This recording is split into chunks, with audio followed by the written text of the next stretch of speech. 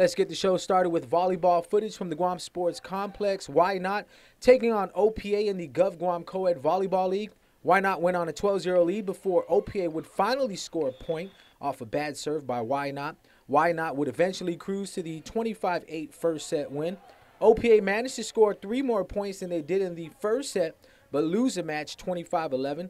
Why Not stays undefeated at 3-0 while the loss drops OPA to 0-3. In other games, GMH improves to 3 0 with the three set win over UPI Elementary 25 23, 23 25, 15 6. UPI falls to 0 2.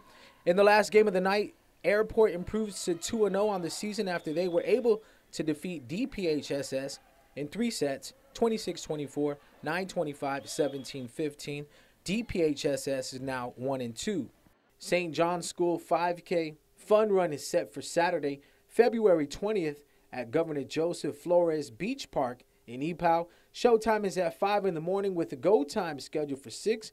Awards will be given out to the top three finishers in each division. Raffle prizes include two round trip tickets, an Apple TV, and more. For more information, call 646 8080 or email pta at stjohnsguam.com.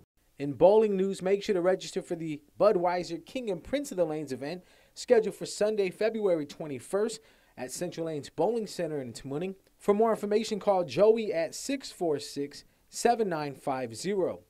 Guam Women's Baseball Association is proud to announce that Lady Guahan left from Guam International Airport early this morning for an international women's baseball tournament beginning Friday, February 19th through Monday, February 22nd in Hong Kong known as the Phoenix Cup.